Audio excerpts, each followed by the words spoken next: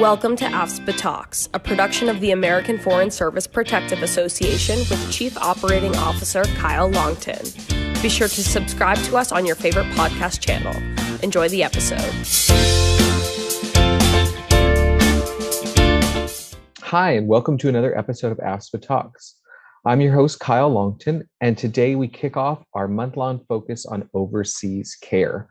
And we get questions a lot of times from our members, new members, and even long-time members about how does this plan work overseas? Um, even more so, there are questions about how does healthcare itself work overseas? We're happy to do our best to answer the, those questions um, over the next several weeks, including with our live event at the end of the month. So keep an eye on our social media, um, on the show notes for various episodes, and so forth, to find out how to join our live event at the end of the month and ask us questions about overseas care. But today we're going to kick off with a focus on what is sort of the, to borrow a phrase from our guest, the medical home for many of our members and many federal employees who are living and working overseas. Uh, that's right. Today, AFSPA talks to the Bureau of Medical Services, or MED. Now, Paula Jakub, our CEO, and I have the opportunity to act as subject matter experts and speak to new hire classes of foreign service generalists and specialists at the Department of State and um, those participants in the C3 program at USAID. And as part of that overview, we're able to share with them instances when MED provides secondary coverage when they're receive care outside of the United States. We also try to leave them with the underlying truth that no matter where they are in the world, no matter how remote it might seem at that time, MED has their back. And that comes through in our interview today. Um, and to help us understand everything that MED does and how they serve um, everybody overseas under the authority of the Chief of Mission, we have Dr. Larry Padget, the Chief Medical Officer for the Department of State. So, a little bit about Dr. Padget before we um, jump into the interview. He's a career member of the Senior Foreign Service, class of Minister Counselor, and he most recently served as the Principal Deputy Chief Medical Officer in Washington for the Department of State. In that role, he serves as the chief strategy officer for the Bureau, translating intent and directives from the chief medical officer and other department senior officials to tangible and constructive systems development.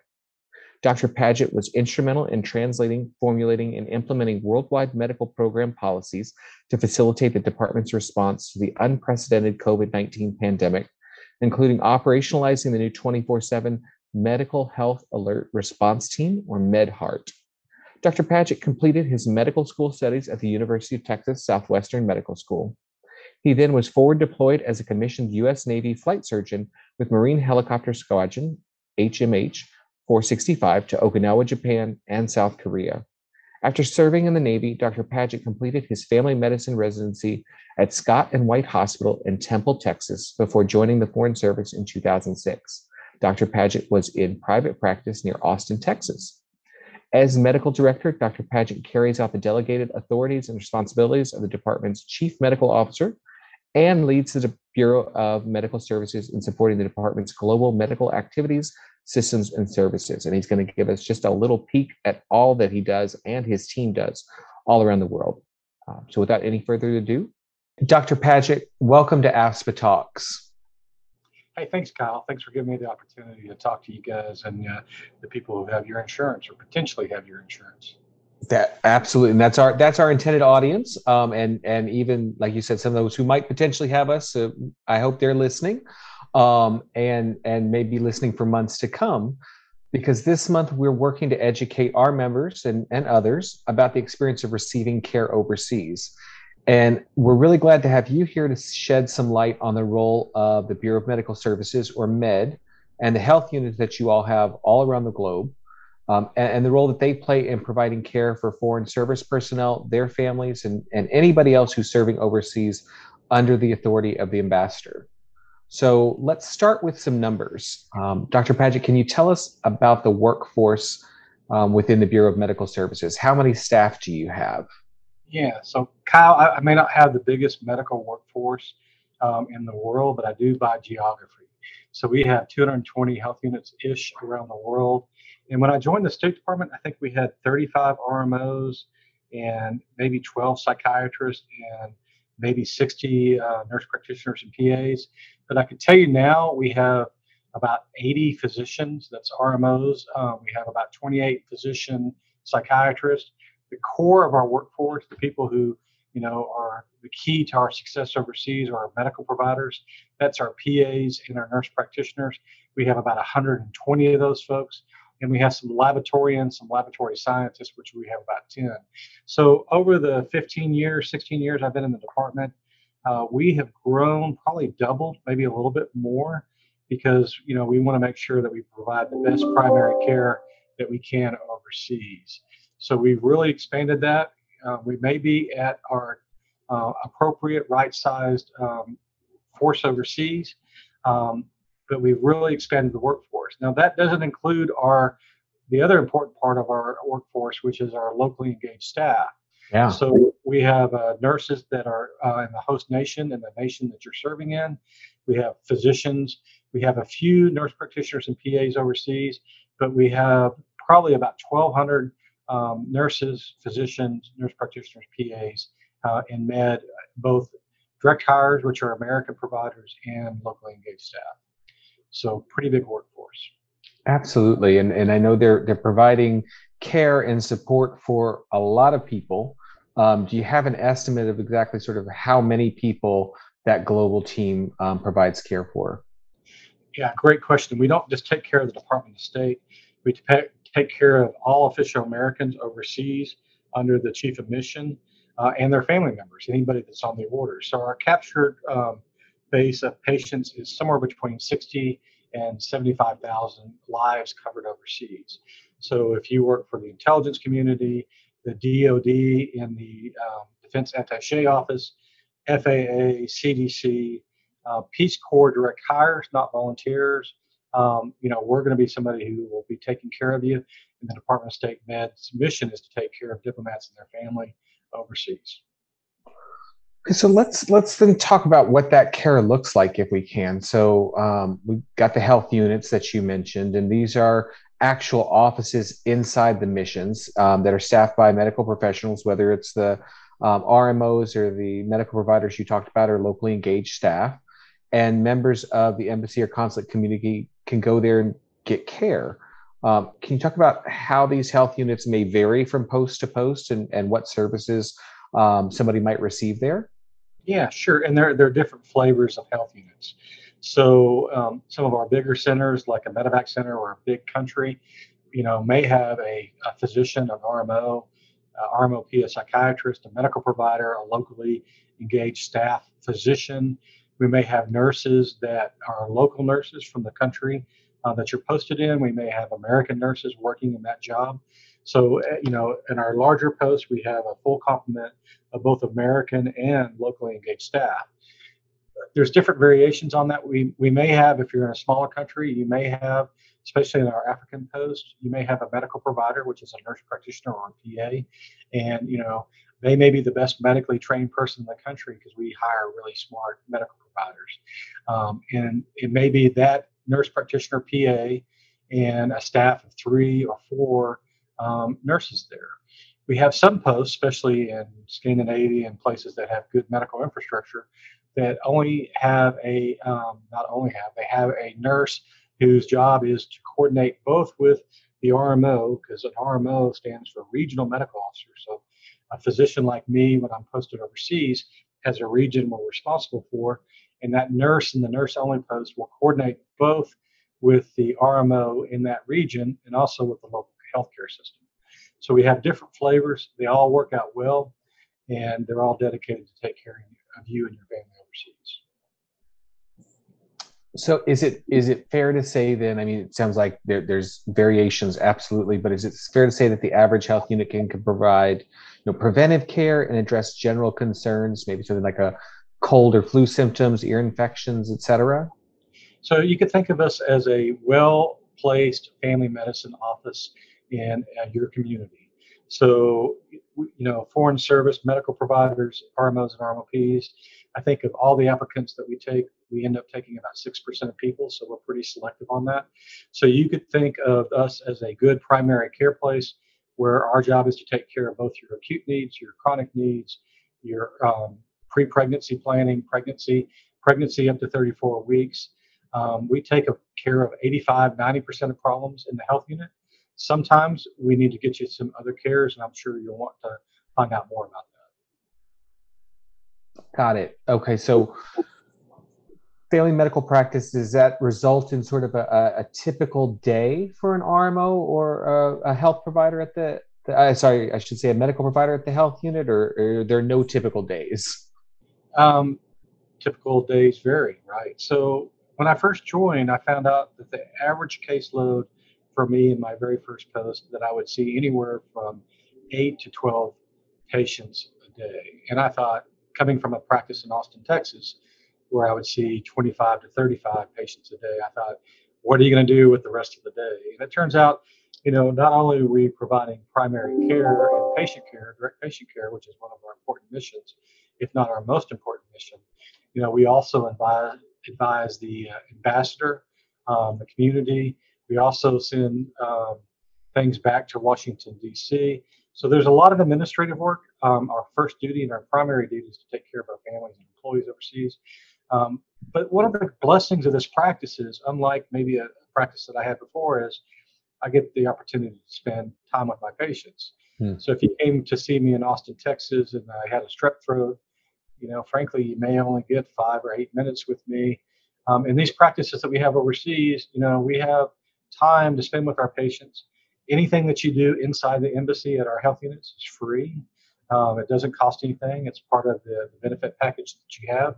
But when you see a nurse practitioner, a PA, a physician in our health units overseas, that all is cost free and um, is paid paid for by your government organization, uh, your bureau or department that you came from. That's right. No no claims come to us or any other health plan. So we we appreciate the work that you do. Um, but can we talk? You mentioned you know sometimes you can't treat everything at the health unit. Um, and sometimes you've got to seek care, and, and maybe that care is not available locally. Um, is well, that so? Yeah. Some, what we try to do is we try to make sure one of the jobs that we have in med is that we um, want to make sure that people get appropriate care. So if you're in a country where the health unit in that um, mission cannot take care of your your health needs, sometimes we refer you out to the local communities. So one of the things that our medical providers and our RMOs do is we go out and we find dentists, we find obstetricians, gynecologists, neurologists, cardiologists, and we vet that and we, we look at the both the physician, uh, the medical facility, the radiologist, and all that, and we determine whether or not those are appropriate to use. If you're a patient coming to see us and you need to get an MRI, you know, we would prefer as you would to get that in a local community if appropriate. If that you know the machine has not been updated, if the radiologist is, can't read um, the imaging appropriately, then what we're going to do is we're going to medevac you from the nation that you're at um, to one of our medevac centers. Um, but generally, most things can be taken care of in the local community. Um, anything outside the mission, anything outside our health unit, will be between you and your insurance company um, um, to settle. So typically, in most places, oh, places you know like Kyle's Insurance has the ability to direct bill these uh, uh, insurance companies, but often you'll pay um, cash up front and get reimbursed by the insurance company. Sometimes it's like just going in the United States where you go to a hospital, they bill uh, the insurance company directly, and you pay the overage on that. Anything outside the mission health unit is your responsibility to pay for through your insurance. Okay. Um, and and I think that's important for for folks to understand. And, and we get a lot of questions with some of the new hire classes at state and USAID and others about medevacs. And uh, so it's lightning round quiz time for you. Um, what are the current medevac centers? I know a lot of them had to shut down during the early days of the pandemic. I'm I'm curious what which centers are open right now. Yeah, so you're exactly right. Back in the pandemic, which we're not back in, we're still in the pandemic right yeah. now uh, we were sending a lot of care back to the United States. Um, now, every one of our medevac centers are open. So for AF or Africa Bureau, you know, we have both Johannesburg um, down in South Africa. Uh, sometimes we send people up to London. Uh, London has our largest capture area. It goes out to NEA, SCA, or you know, far out to the Middle East, maybe out to Pakistan, up to Moscow, um, over to Iceland, down to uh, just that sub-Saharan Africa. We also have Bangkok and Singapore. Singapore being our primary one that captures most of Asia. Um, and for WHA or Latin America and South America, we tend to send people up to Washington, D.C. for that. Um, but those are our medevac centers. Sometimes we send people, especially if it's a critical emergency, we send people to other places um, as needed. Sometimes we send people back to the United States. Most medevacs are you get a, a airline ticket from the med unit through the, um, the HR department in the mission. You get on a regular plane and you fly to the medevac center. You go there. We have a dedicated staff that helps you navigate that. Kind of a care manager that helps you get to the appointments, makes appointments for you, uh, follows up on you, gives you a medical clearance to come back. Um, a couple times a year, multiple times a year, maybe a dozen, maybe two dozen, we have to send an air ambulance out to you and get you when somebody has a car accident, um, kinetic injury like a, a, gunshot or some kind of trauma or heart attack. Sometimes we have to send an air ambulance out to you and then send you to the medevac center. So when we have an emergency like that, um, we have everybody on the medical staff here in the Department of State, you know, spend all their time making sure that you get the care that you need. Absolutely. I, I can just say, having been on the very, very far edges of a, a, couple of those cases, I know that that you and, and your team worldwide react very quickly and um, and get things moving, and that the staff is ready there at the, the receiving medevac um, location to to make sure that care is received quickly and and the best care possible. Um, and I think that anybody who's covered by the med program can take some great comfort in that. Um, we we tell the new hires that med has their back wherever they are in the world and, and that that plays out every single day um, in what you all do. Thank you. I agree with that and you know we have dedicated professionals that that's what we're here for. Absolutely. Now if i can shift maybe just a little bit uh, one of the topics that we discuss quite a bit on this podcast is behavioral health. Um, this is a need that that doesn't stop at the water's edge. Um, people m- may have continuing or even new um, behavioral health needs when they're overseas. So, uh, um, are you able to share a little bit about how Med approaches these needs and behavioral health needs for um, people overseas? Yeah, so the same primary care um, team and, and, psychiatry team uh, that you see in the health unit are available for all those services. I'm a family doctor. Um, I'm used to, you know, treating depression, anxiety, um, the daily uh, strains and stresses that people go under. And, you know, we have the ability in our health unit with our nurse practitioners, PAs, physicians and psychiatrists, physicians, you know, you know, that should be your first stop for getting care and evaluating care. Um, you know, we're increasing our number of mental health professionals, um, both direct hires, um, so um, and civil service, so we could have more availability to that. But if you're overseas, your health unit is you know the first step for that. Uh, sometimes people worry about their medical clearance for if they have mental health problems. We could show evidence and say over and over again that getting care early on is the best way to make sure that you get both healthier, but also uh, preserve your work relationship and all that entails. We also have employee consultation services back here in Washington, D.C. That's a federally mandated program where if you did want to go see the um, Larry Padget, Dr. Padget, or a psychiatrist or somebody in the health unit, you know, we have the ability for you to reach back here to our employee consultation services, talk to one of our social workers, one of our psychologists, one of our psychiatrists, and get care. Um, so that's a, another avenue because we really don't want to have anybody have any barriers to any kind of care, especially mental health care. You know, serving overseas is stressful. It's a new environment. Even those who have done it before, um, you know, it's always a transition. It's always stressful. It's always stressful for your family members. The employees, you know, have the ability to go into a mission which may be the same as the last mission they're at, or maybe back in their work back in Washington, D.C. or somewhere else. It's the family members that have the biggest struggle where they're in the local community dealing with the new environments on that. The other thing is, you know, if there's any blessing out of this uh, COVID pandemic is the fact that we are using virtual medicine or telemedicine or telepsychiatry, telepsychology a lot more than we had in the past. We're recording this on a Zoom or a Teams call right now, and you know, one of the things that State Med has done in partnership with our insurance companies and others is have the ability for us to reach out to other medical providers um, via a virtual platform on that. So insurance companies, um, such as the one we're talking to today, also have benefits where you can actually talk to a mental health professional outside the Department of State direct hires, so you could reach out from that. And you know, as the physician leading med currently, you know, I want you to get help wherever you feel like you need to get it from. That could be the health unit, that could be our uh, psychiatrist, our regional psychiatrist, that could be our employee consultation services, that could be reaching back through your insurance company to find a telehealth or telepsychiatry uh, program that works for you. You know, our bottom line is we want you to get the care that you need any way that you can do that.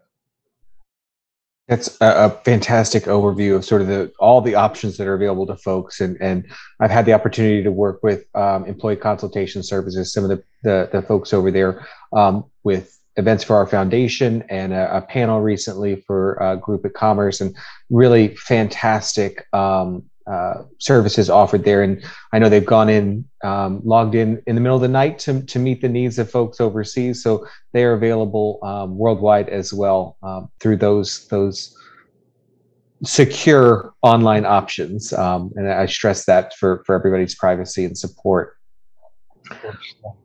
Um, one of the other pieces that we hear from our members about not too regularly, but but enough that I wanted to raise it with you was about prescription drugs. Um, and not every country has approved all the drugs that are available in the United States. Um, sometimes the, the opposite is true. They may have drugs available that haven't been through the, the full approval process here. Does med have a role to play in helping people obtain prescription drugs when they're overseas? Great question, uh, Kyle. So the first thing I would say, if, if you're in the United States and you're going overseas, is when you before you leave, make sure you have at least three months of your medications. And I think all federal um, healthcare plans are mandated to give you a 90 day prescription up to a year after you get overseas. But I want you to have a good stock of your medications before you go overseas. The worst thing you could do is go into the health unit. First day you meet Dr. Padget, you say, Hey, Larry, I'm out of my medication. Can you give that to me? And of course, we're going to work with you to help you get that but I'm going to say, well, I really wish you would have brought 90 days of your medications. Because in the health unit, we have the ability to order medications for you through uh, um, your, your federal insurance and get you a year's worth of medications. How do we get that to you? We get you through that either through the uh, DPO, the diplomatic pouch, um, or um, the other email system that we have. And you know, sometimes it gets to you fairly rapidly within a week or two. Sometimes mail systems, especially in some of our tougher countries, may take weeks to months to get that to you. So make sure you have an adequate supply. Once you're overseas, it's a good idea to go check into the health unit, meet um, the primary care clinicians there, and make sure that they know who you are. Um, establish care and trust. Form that doctor, nurse practitioner, PA, psychiatry relationship with them. We call that establish care and trust talk about your medical problems. Just like anytime if you went to a new community, you would meet your new clinician that's there to take care of you. They could review your medical needs and they could get you um, the medicines overseas that you need, uh, given enough time. Some medications are more difficult. Um, controlled substances like ADHD medications, we have the ability to only get 90 days of those medications. So if you have a child or an adult that has ADHD, make sure that when you go overseas, you have an adequate supply before there, because we have the ability to get that to you, but it takes a while for that medication to get there. The, the last category that we need to discuss is cold chain medicines. Um, they're, they're very prominent. They're a great asset. Uh, there are more and more of those, and they're, they're really wonderful ju- drugs for rheumatological problems and other kind of problems um, that we have. Um, often those are not available in the community, and often they have to be um, sent by cold chain. Sometimes that cold chain is when you're flying overseas, you have a cooler and you put them in the ice pack and you send them back overseas. Uh, but you know, I, I, would encourage you to work with your insurance company before you go overseas and have a plan for you to get those medications when you're overseas. Some countries have great pharmaceutical systems, and one of the jobs of the health unit overseas is to vet the local pharmacies to make sure that they are honest brokers and have good control of medications. My very first post that I served in, we estimated that 40% of the pharmaceuticals in the local um, environment were fraudulent. So if your malaria medicine is doesn't have the malaria medicine in it and you're in sub-Saharan Africa that can be quite dangerous. We can work with you to tell you the, the pharmacies that we like um, and trust. Often health units um, have a small stock of acute care medications. So if you come in to see me and I diagnose you with a urinary tract infection, you know, often we'll have prescriptions available for you from the health unit free of charge to get you to treat that acute course of medication. Um, if you come in, you know, we're not going to give you your lifetime supply of your blood pressure medicines or your birth control or things like that. Your chronic medicines, we want you to get through your insurance company. Um, sometimes we have the ability to write for local prescriptions in the host nation. Um, so there's a different variations on that. So again, I would encourage you to check in with your health unit and read your health unit booklet that kind of goes over this to kind of get the lay of the land when you go overseas. Excellent. I, I have seen firsthand some situations where the, the health unit has been involved in coordinating whether it was acute medication or in sometimes infusions for somebody at the local hospital because of a, um, a, complicated genetic condition they had and they were working with the insurance in the hospital and helped identify the very best place for it, it to happen. Um, so uh, definitely support that recommendation. Get to get to know your local medical providers um, when you arrive at post. And it sounds like it's also something maybe to discuss with med before going to post if, if anybody has concerns. Absolutely. Reach out to us and we'll be happy to help you. Excellent. All right. Well, um, Dr. Padget, are there any specific programs within Med? I mean, we've talked very generally about sort of the day to day and and some specific questions I had, but are there any specific programs within Med that you'd like to highlight that maybe are underutilized or, um, people don't know enough about? Yeah, I mentioned the employee consultation services before. You know, I think that's a, a key program, both with our, our regional psychiatrist and our primary care clinicians in the in the, uh, in the field. But you know, you should never be alone at a post. You should never suffer alone at a post. There's always help for you in very you know different flavors, and that flavor may be seeing Larry Padget in the health unit. It may be seeing the regional psychiatrist. You know, but you know, other, we want you to have different avenues to get care in our employee consultation services. You know, we're working to expand that program. We want everybody to have access to care uh, it's a stressful world with a lot of bad things happening, um, and we worry about folks. And you know, as I mentioned before, I really want people not to feel that they're alone, to feel like you know Med is there to take care for you, of you and your family members, and coordinate care and get you the care that you need. And you know, if you don't have the relationship you want um, with the mental health people at at Post, you know, I want you to make sure that you know there's other avenues that you get um, highlighting the employee consultation services. Excellent. So I have to I have to take a moment and and give some um, compliments to your team. Whoever manages your your social media does a fantastic job because there seems to be something at least once a day, usually multiple times a day, about and ask me anything, um, an interview with uh, one of the regional medical officers or a medical provider overseas, um, photos from different recruitment events around the country, and so forth. Um, so there's there's a lot happening there, and people can learn about what Med does and also careers within Med. But if somebody's new to the Foreign Service, or maybe they're just considering joining, do you have any advice or suggestions for them, either generally as a, a Foreign Service um, officer yourself, or as they maybe as uh, specific to med, um, any considerations someone has around that? Yeah. So before you go overseas, you know, make sure you get your eyeglasses prescription done. You know, we have the ability to write for prescriptions and contacts overseas. But if you come into me my office and you have a wrinkled prescription from three years ago, I'm going to be uh, reticent to, to fill that. Um, I always tell people to get the mammograms um, in your home leave address or the place that you're going most most often. Nothing is more terrifying for a woman or a man in small numbers of cases to go overseas, get a mammogram, have them find something that's concerning, and not have your prior mammograms and things like that. So you know, I, my spouse, um, Allison, and others, we, you know, we tend to get our dental care, our chronic uh, care in the same place back in the states when we're at the place that we're going to be at fairly often.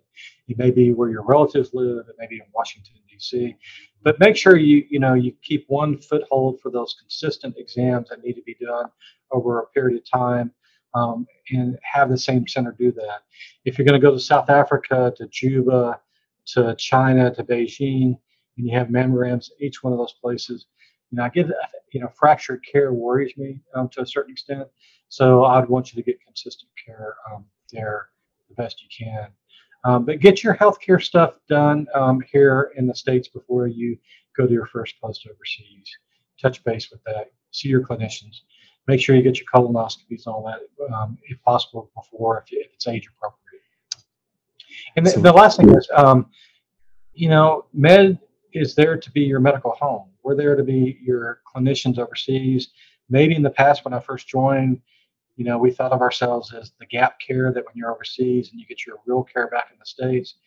That's not how we think anymore. And, you know, we want to have people see us as um, their primary care, continuity care that's responsible for you as the employee and your family members across the span of your government employment.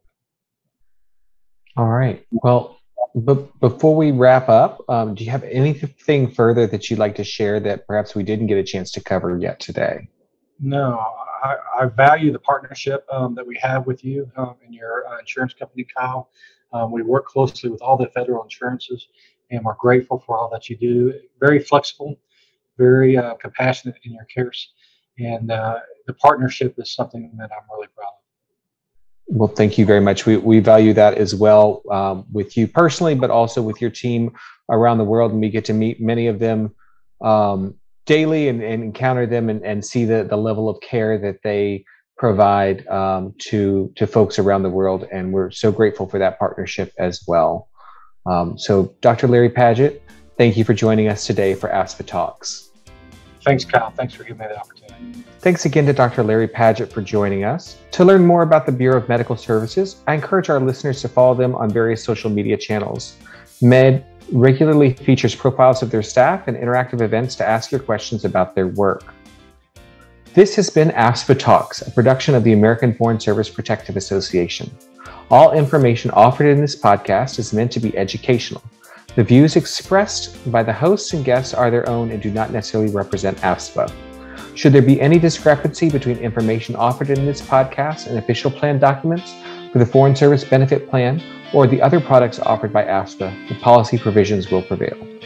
Thanks for listening and be sure to subscribe to AFSPA Talks to catch our next episode. Please rate and review us on your favorite podcast app and share feedback with us on Facebook, Instagram, and LinkedIn.